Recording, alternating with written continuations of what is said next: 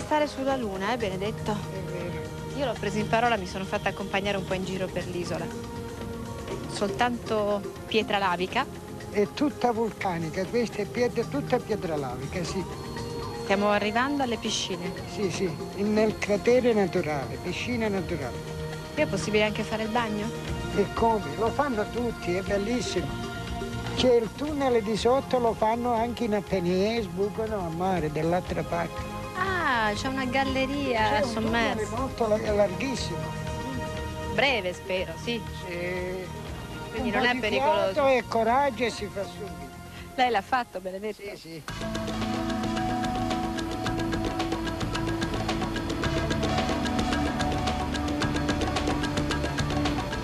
Benedetto, là c'è un faro alle nostre spalle. sì. È E presidiato o no? Non c'è più il guardiano. Il guardiano è andato in pensione, ora funziona tutto automatico. Punta Beppetuccio si chiama, Punta Beppe Tuccio, che bel nome. Perché si chiama così? perché il primo che faceva il servizio si chiamava Beppe Tuccio. Eccola qua, questa è la piscina naturale, la prima.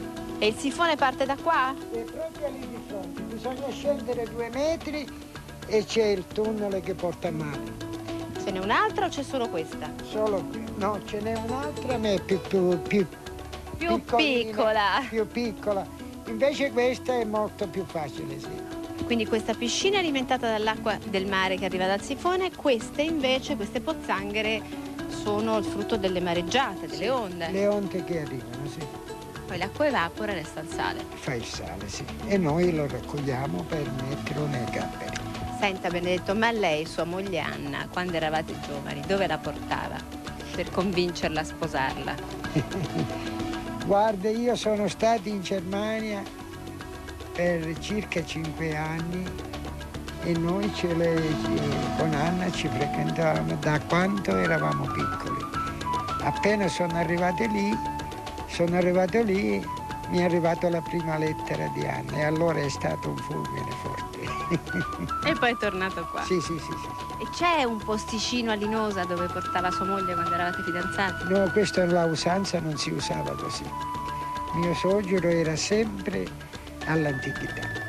Ora le cose sono cambiate, ma prima questo non c'era. Non si poteva fare, si- assolutamente. no, no, no. Secondo me, se suo suocero gliel'avesse permesso, lei sua moglie l'avrebbe portata qui per chiedere di sposarla, Certamente. alle piscine naturali. Sì, sì, è vero. È il posto più romantico del mondo. È vera- vero, vero, vero. È bellissimo.